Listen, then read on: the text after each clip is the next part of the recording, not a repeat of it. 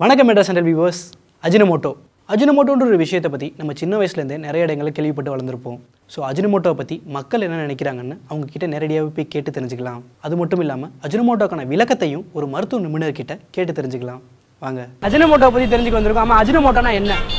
அஜினமோட்டோனா எல்லா உணவுப் பொருளையும் அதை மிக்ஸ் பண்ணி டேஸ்ட்டுக்காக பண்ணுறாங்க டேஸ்ட்டுக்காக பண்ணுறாங்க இந்த மாதிரி வெஜிடபிள் ரைஸ் எல்லாத்துக்குமே பண்ணுறாங்க அது வந்து அவ்வளோ உடல் நலனுக்கு உடலுக்கு நல்லது கிடையாது. ஓகே அது யூஸ் பண்ணாமல் நம்ம பா பாரம்பரிய உணவை பண்ணாலே ரொம்ப உடம்பு நல்லா இருக்கும்.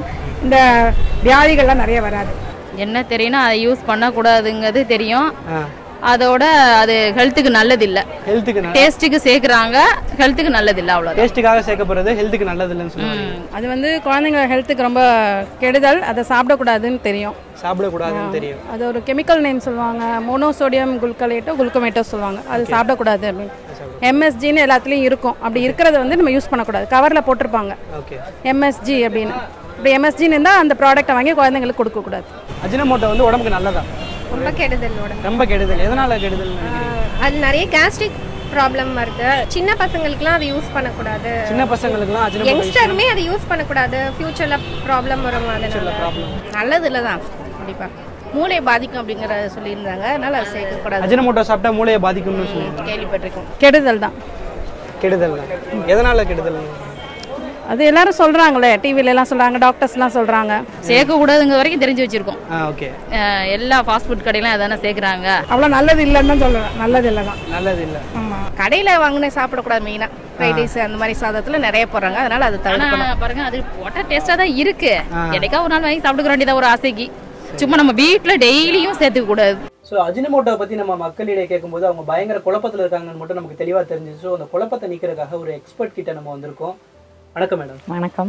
சொல்லுங்க மேடம் அதாவது அஜினமோட்டோனா என்ன?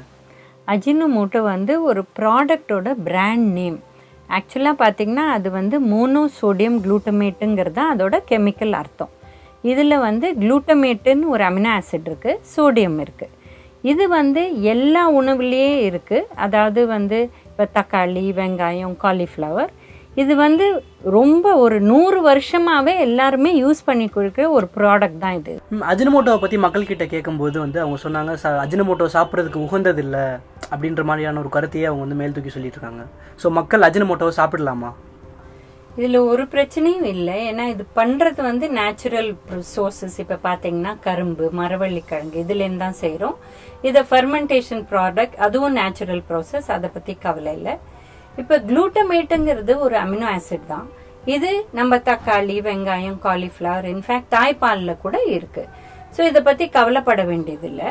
இப்போ இது நேச்சுரலா நம்ம சாப்பிட்டாலும் சரி கெமிக்கலா சாப்பிட்டாலும் அது சேம் எஃபெக்ட் தான். அது ஒன்றும் ப்ராப்ளமே கிடையாது.